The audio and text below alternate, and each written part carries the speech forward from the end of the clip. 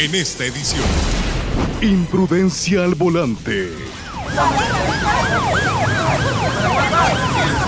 Varias personas resultaron lesionadas en un autobús del transporte colectivo. Protesta en la capital. Llantas fueron quemadas. Muchos la prefieren. Dicen que tiene varios nutrientes. Prepárese. A partir de lunes podría haber más tráfico que de costumbre.